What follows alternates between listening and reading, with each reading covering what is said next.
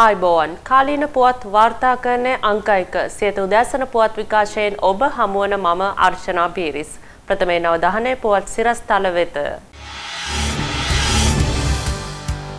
පාස්කු ප්‍රහාරය ගැන පරීක්ෂණ කරන්න ගේනම කිව්ව ස්කොට්ලන්ඩ අඩ එක කෝ සජිත් ජනපතිගෙන් ප්‍රශ්න කරයි. අර්බුදයෙන් ගොඩ එන්න වෙසඳුම් කියන අනුර. නරක් වූ මාළු කන්ටේනර් කෝපා කමිටුවට වහම අපරාධ පරීක්ෂණ දෙපාර්තමේන්තුවට පැමිණිලි කරන්න මොදල් අමාත්‍යංශයට උපදෙස්. පාස්කු ප්‍රහාරයට වගකිව යුතු පුද්ගලයන් සොයන්නට ජනාධිපති රනිල් වික්‍රමසිංහගේ උනන්දුවක් නැති බව විපක්ෂනායක සජිත් ප්‍රේමදාස පවසරවා. පාස්කු ප්‍රහාරය සිදු කළ පුද්ගලෙන් කඩිනමෙන් නීතිය හමුවට ගෙන ඒමට තමා ඉදිරියේදී කටයුතු කරන බවයි විපක්ෂනායකවරයා වැඩිදුරටත් පවසන්නේ. අම්බලන්තොට පැවති වැඩසටහනට එක්වෙමෙනුයි ඔහු මේ බා ප්‍රකාශ කළේ.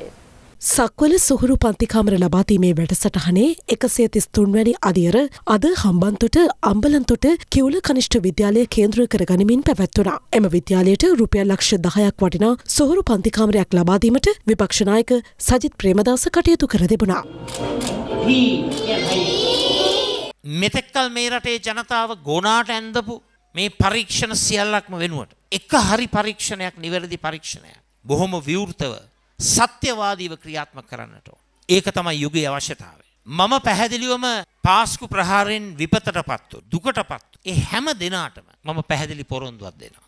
මම වගකීමෙන් කියනවා. මේ නින්දිත ම්ලේච්ඡ ත්‍රස්ත ප්‍රහාරයට සම්බන්ධ සියලුම දෙනා අපි හොයාගන්න නීතියට අනුව දෙන්න පුළුවන් උපරිම දඬුවම ලබා දීමේ වැඩපිළිවෙල ක්‍රියාත්මක කරන්නට අපි අනිවාර්යෙන්ම කටයුතු කරනවා කියන එක මම මේ අවස්ථාවේ ප්‍රකාශ කර සිටිනවා. අපිට මතකයි වර්තමාන ජනාධිපතිවරයා බොහොම පැහැදිලිව කිව්වා ස්කොට්ලන්ඩ් යාඩ් එක ගෙනල්ලා පරීක්ෂණ පවත්වනවායි කියලා. ඔහු එදා එහෙම කිව්වට ස්කොට්ලන්ඩ් යාඩ් එක පැත්ත පළාතකවත් ගෙනල්ලා නැහැ. මොකද ඒකට හේතුව? මොනවද මේ පාස්කු ප්‍රහාරය අපිට හංගන්න තියෙන්නේ? ඇයි මෙච්චර පස්ස ගහන්නේ පසුබට වෙන්නේ? නිවැරදි දේ කරන්න. මේකෙන් විපතට පත්වුණු ඒ පවුල්වල සාමාජිකින්ටයි දරු පවුල් පිටින් ඝාතනය වුණා. අඩුම ගානේ ඒ අය වෙනුවෙන් යුක්තිය සාධාරණත්වය ඉටු විය යුතුයි නේද? එය ඉෂ්ට කරන්නට අපි කිසිසේත්ම පසුබට වෙන්නේ නැහැ. අර්බුදයෙන් ගොඩේමට නම් රට තුළ සාමූහික ක්‍රියාකාරීත්වයක් තිබිය යුතු බව ජාතික ජනබලවේගේ නායක පාර්ලිමේන්තු මන්ත්‍රී අනුර කුමාර දිසානායක පවසරවා. ඔහු මේවා ප්‍රකාශ කළේ කැනඩාවේ පැවති ජන හමුවකට එක්වෙමෙනුයි. සත්ව ලෝකයේ අසරණම කෙනා මිනිහා. අද අපි කප් ගහලා හිටියට. අපිට රාජාලියට වගේ තියුණු ඇස් තිබුණේ. කොටියාට වගේ ශක්තිමත් දත් තිබුණේ. සිංහයට වගේ ශක්තිමත් පාද තිබුණේ. නරියට වගේ ශක්තිමත් ඉවක් තිබුණේ. සත්ව ලෝකයේ අසරණම කෙනා මානවයා. හැබැයි මානවයා තමන්ගේ අසරණභාවය මුදාගත්තේ කොහොමද? අපි වෙනස් වෙලා අපි සාමූහිකව වැඩ කරන්න පටන් ගත්තා. කොටියා තනියම දඩේම පිටිපස්සේ පඹාගෙන යනකොට අපි ඔක්කොම එකතු වෙලා ගල්ලින්නක් අරගෙන දඩේම පස්සේ හඹාගෙන ගියා. අපි ගොඩ නගන්නේ අන්න එවැනි වර්ගයේ පාලන සාමිකත්වය. කුස්කර්ම අමාත්‍යවරයා නම් ඕටි ඊටාම ශක්තිමත් උපදේශක මණ්ඩලයක් ඉන්න ඕන. බීජ පිළිබඳව පර්යේෂණ කරපු අත්දැකීම් තියෙන කෙනා, පස පිළිබඳ පර්යේෂණ කරපු අත්දැකීම් තිබෙන කෙනා, නව භෝග පිළිබඳ පර්යේෂණ කරපු අත්දැකීම් කරපු කෙනා, කුස්කර්මාන්තයේ මාකටිං කෑල්ල, විලඳපොළ කෑල්ල අධ්‍යයනය කරපු පර්යේෂණ කරපු කෙනා, මේම සාමික කණ්ඩායමක් ඉන්න ඕන. ඒතර තමයි පුළුවන් වෙන්නේ ගන්න තීන්දුව හැම පැත්තම කිරා මැන බලා ගන්න. සෑම අමාත්‍යංශයකටම ඒ අමාත්‍යංශයට පෙවරන විෂයන් පිළිබඳ පුළුල් අත්දැකීම් සහ දැනුමක් තියෙන කණ්ඩායම් මණ්ඩලයක් ගොඩනගෙනවා. ඒ මණ්ඩලය තමයි අමාත්‍යවරයාට තීන්දුවක් ගැනීම සඳහා අවශ්‍ය වෙන සාකච්ඡාව කරලා දෙන්නේ. එහෙමයි සමාජ ඉස්සරහට යන්නේ. හැබැයි අපේ සමාජ ඉස්සරහට යන්නේ කොහොමද? තනියම ජනාධිපතිවරයාගේ සංකල්පය මත වෙලිගම් නගර සභාව වැසිකිළියකදී කරලා දී. මොකද්ද මේ? මන් දැකලා තියෙනවද මං කියන්නේ? මොක මොකද්ද මේ? එහෙම නෑ. එහෙම මේ සංකල්ප එහෙම පහළ වෙන්නේ කවුද? ඉතින් අපේ රට මේ අර්බුදයෙන් ගොඩ එන්න නම් සාමික මැදිහත් වීමක්. සාමික ක්‍රියාකාරීත්වයක් අවශ්‍යයි. එහෙම තමයි මේ අර්බුදයෙන් ගොඩ එන්න බෑ. රටේ වත්ම තත්ත්වය සම්බන්ධයෙන් ඇසුණු කතා දැන් දැන් හැමෝම සීන දකින්න ඊළඟ ජනාධිපති වෙන්න.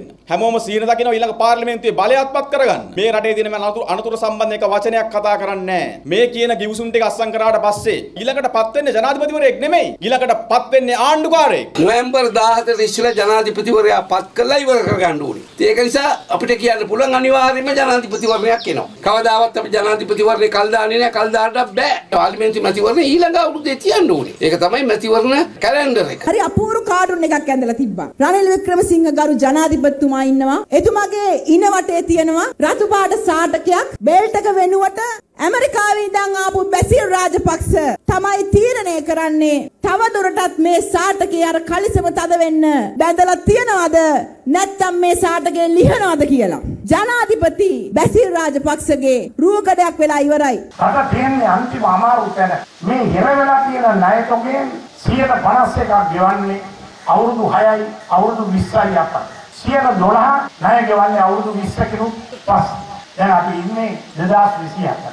2050 වෙනකම් හිර වෙලා තියෙන ණය ටික ගෙවන්න ඕන. අපේ කම අපි ගාව නැහැ. මේ පානු පරිප්පු කියන්නේ අද මේ රටේ ප්‍රධාන ආහාරයක්. හෙට පිටි නැවෙන එක නැවැත්තුවොත් මේ රටේ පාලකයව ජනතාව එළවනවා. හෙට පිටි ටික එන එක නැවැත්තුවොත් කුමන පාලකෙ හිටියත් මේ රටේ මිනිස්සු එළවනවා. පරිප්පු ටික නැවතුනොත් මේ රටේ පාලකයව එළවනවා මිනිස්සු. තෙල් ටික ආව නැති වුණොත් කරන්ට් එක කැපුවොත් මේ රටේ පාලකුන් එළවනවා ජනතාව. කැබිනට් මණ්ඩලයේ අනුමැතිය ලැබිලා තියෙනවා සම්පූර්ණම විදේශ සේවා නියුක්ති කාර්යාංශයේ ඩිජිටල් කරණය කරන්න සම්පූර්ණම පද්ධතිය.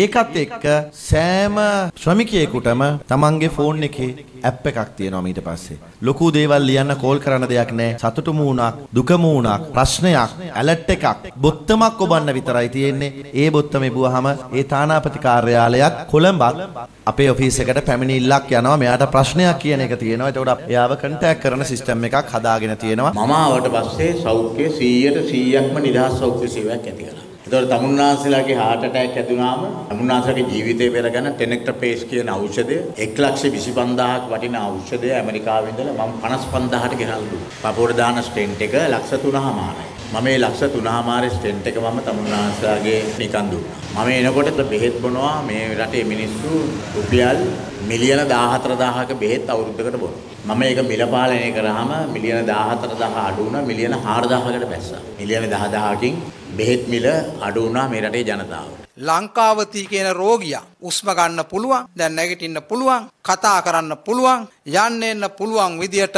හරි ගස්සලා ICU එකෙන් එළියට අරන් තියෙනවා. මාරාන්තික රෝගියෙක් බේරගත්තා වගේ තමයි මේ කරපු විශාල වැඩපිළිවෙල. ඔපරේෂන් ගාණක් කරන්න වුණා. මිනිස්සු බැන්න ලෙඩාගේ නෑදෑයෝ ගහන්න බයින්න තරමට ආවා. නමුත් ඒ රනිල් වික්‍රමසිංහ කියන වෛද්‍යවරයා ඒ අයගේ අවලාද ඉවසා දරා ගනිමින් නෑදෑයෝ බැන්නට රෝගියෙක් තරහ නොවී රෝගියා සුවපත් කළා. දැන් ලස්සනට පේන්න ඉන්නවා. නරක් වූ මාළු කන්ටේන එකසිය දෙකක් රට තුළට ගැනීමේ සිද්ධියේ ගැටලු රැසක් පවතින බව කෝපා කමිටුව පවසනවා. මේ පිළිබඳව වහාම අපරාධ පරීක්ෂණ දෙපාර්තමේන්තුවට පැමිණිලි කරන ලෙසයි එම කාරක සභාව මුදල් අමාත්‍යංශයට උපදෙස් ලබා දී තිබෙන්නේ. මේ පිළිබඳව තොරතුරු අනාවරණය වුණේ මුදල් අමාත්‍යංශය සහ රේගු නිලධාරීන් ඇතුළු පාර්ශව කිහිපයක් කෝපා කමිටුවට කැඳ වූ අවස්ථාවේදී. අපේ රටට ගොඩ බාන්න බෑ පළදු ඌහා දුගදහමන හෝ අප්‍රිය තත්ත්වය හෝ ආහාරයට නුසුදුසු සහ නීත්‍යානුකූල පාවිච්චියට නුසුදුසු හෝ ස්පර්ශයට නුසුදුසු හෝ ලෙඩ රෝග සෑදෙන සුළු මාළු වර්ග ධාන්‍ය වර්ග සහ වෙනත් දේ නිශ්චිතයි මාළු කියලාම සඳහන් වෙලා තියෙනවා. දැන් මේක ඇත්තටම ලංකාවට ආනයනය කරපු බඩුවක් නෙවෙයි අපි ඕඩර් කරපු එකක් නෙවෙයි. හැබැයි ඉන්වොයිස් එක හැදෙන්නේ ඒ විදියට. දැන් මෙහෙට එන ඉන්වොයිසියක් හරි ගස්සලා නැහැ. එයා ආනයනය කරලා නැහැ. ඔව් එතන එතකොට පැහැදිලිව පේනවා මෙතන වංචාවක්. ඒක නරක් වුණ මාළු කියලාම තියෙනවනේ. පැහැදිලි. පළතුරු. එතකොට එහෙම එකට කොහොමද විශේෂ අවසර දෙන්නේ? ඒක රේගුවක් ජාපනත අනුව තමයි අපේ පනත අනුව එහෙම ගැටලුවක් නැහැ. දැන් ඔබතුමිය කියන විදිහට නීති රීති සියල්ලක්ම අනුගමනය කරලා තමයි මේ ආනයන බලපත් ලබා දීලා තිබෙන්නේ. හරිනේ. එතකොට ඒකද ඒකනේ උත්තර හරි. දැන් ශ්‍රී ලංකා රේගුව කියන්න බෑ මේක ප්‍රෙපෙයා කරනට කාලයක් යනවා කියලා කන්ටේනර් ටික නැවේ තියාගෙන ඉන්න බෑ ලීක් වෙනවා කියලා තමයි කන්ටේනර් ටික බාලා තියෙන්නේ. ඊට පස්සේ මේ shipping line එක අපිට එව්වා මුලින්ම කන්ටේනර් හතරක් සම්බන්ධව. මේ කන්ටේනර් හතර destroy කරන්න. අපි ඒකට ඊට පස්සේ කිව්වා ඒකට ඉස්සල්ලාම ෆුඩ් ඉන්ස්පෙක්ටර් ඇප්‍රෝල් එක ගේන්න කිව්වා මේක භාවිතයට සුදුසුද නැද්ද කියන එක. ඊට පස්සේ මේ සියලුම දේවල් ගෙනාවා. වැලියගොඩ UC එකෙන් අපිට ඇප්‍රෝල් එක ආවා. ඇග්රිස්ටා කියන කාබනික පොහොරා සත්ව නිෂ්පාදන හදන තැනක මේක පළලා විනාශ කරන්න කියලා. ඊට පස්සේ ඒ අනුව මේ කන්ටේනර් දෙක ඩිස්ට්‍රොයි කරා කන්ටේනර් හතර.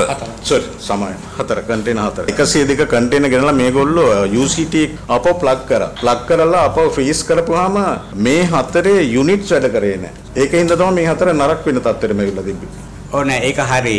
හැබැයි ඇයි ඒක නිශ්චිතවම කිව්වේ නැත්තේ ස්පොයිල් ෆිෂ් කියලා. මේ මේක මේක කූටලේඛනයක් පැහැදිලිවම. දැන් අපේ නැව මේක කැඩිලයි කියලා නැව එන්නේ 2022යි 1.15 නේ. හැබැයි මේ ඉන්වොයිස් එකේ ડેට් එක තියෙන්නේ දෙසැම්බර් 2021 දෙසැම්බර් 10. එතකොට නැව කැඩෙන්නත් කලින් ඉන්වොයිස් එක ඉෂුව වෙලා තියෙනවා. ඒ කියන්නේ ලංකාවට ඉම්පෝට් කරපු විදියට. ඒතර මේවා මේක ජෙනුවින්ද නැද්ද කියලා හොඳටම දන්නවා කස්ටම් එක. මේ සම්බන්ධයෙන් විධිමත් පරීක්ෂණයක් විමර්ශනයක් කරන්න කියන එකට අපරාධ පරීක්ෂණ දෙපාර්තමේන්තුවට වාර්තා කරන්න. මට පැහැදිලි කිරීම අනුව මේ කස්ටම් එකේ නිලධාරී මේකට කොච්චර මහන්සි වෙලා තියෙනවද වහාම මුදල් අමාත්‍යාංශය මං හිතන්නේ මේ සිකුරාදා වෙන්න කලින් අදාළ නීත්‍යානුකූල පියවරයන් අනුගමනය කරලා පැමිණිල්ලක් සටහන් කිරීම කළ යුතුව තිබෙනවා. ජීවිත බේරා ගන්නට වෛද්‍යවරුන් දරන උත්සාහයන් විස්මිතයි. එවැනි රෝගී ජීවිත බේරා ගන්නා වෛද්‍යවරයෙකු ඇතුළු පිරිසක් සිදු කළ වෙනස්ම ආකාරයේ විස්මිත ක්‍රියාවක් පිළිබඳවයි මේ තොරතුරු.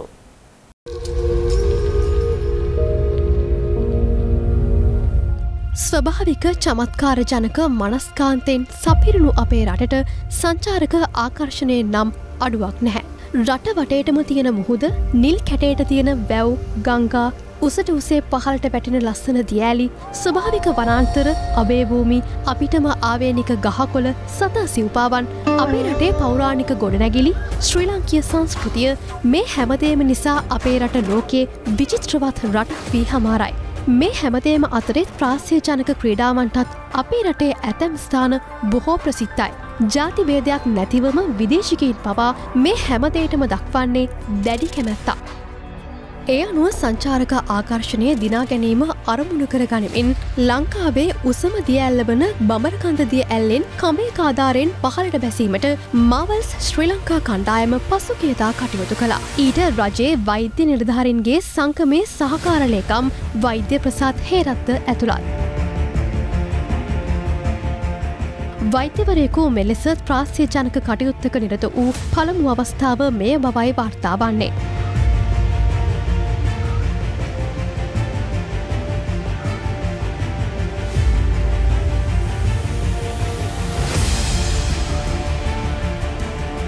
ශ්‍රී ලංකිකින් දොළොස් දෙනකු මෙන්ම ඉන්දිය ජාතිකයකුත් මීට සහභාගී වී සිටි අතර ඊට කාන්තාවන් තිදෙනෙකුද ඇතුළත්.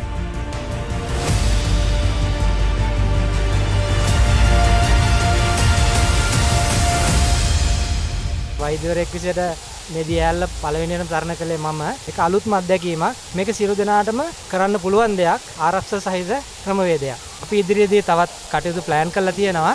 මේ අතර සංචාරකින් අපේ රටට පැමිණ ඉතා නිදහසේ විවිධ ප්‍රදේශවල කාලය ගත කරන අයුරු දක්නට ලැබෙනවා.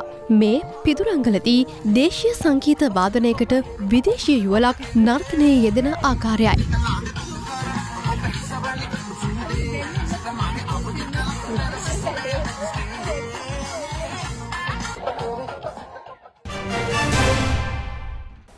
එම පුවතත් සමගින් සියත උදැසන පුවත් විකාශයේ මින් නිමවට පත්වනවා. ඔබට සුබ දවසක්.